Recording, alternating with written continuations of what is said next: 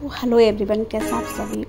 जय माँ, काल रात्रि की तो आज है सातवां दिन और सभी के नवरात्रों के व्रत चल रहे हैं तो हमारे भी नौ दिन के व्रत चल रहे हैं। तो आज मैंने बच्चों के लिए बहुत ही ईजी वे में बनाई रस मलाई। यहाँ पे दूध लिया है, कुछ बादाम क्रश करके डाले, ना, नारियल को कद्दूकस के डाला और पिंच पर मैंने कलर डाला, लड्डू वाला।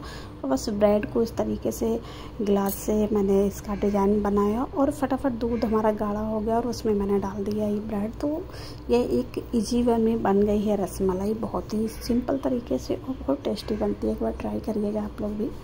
तो उसके बाद मुझे जाना था पूजा में जो संकटा मैया की पूजा रखी थी।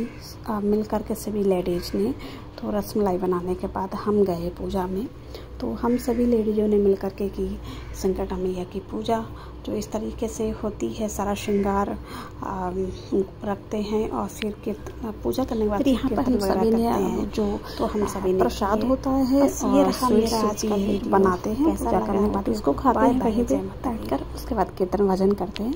तो हम सभी ने वो खाया मिठाई खाई जो स्टार्टिंग में आपने देखा बॉल्स में रखी हुई थी। अभी वो खाने के बाद हम सभी ने श्रृंगार लिया आ, माता से आशीर्वाद लिया उसके बाद हम सबने कीर्तन भजन किया और उसके बाद हम सभी घर आ गए तो ये राज का जय माता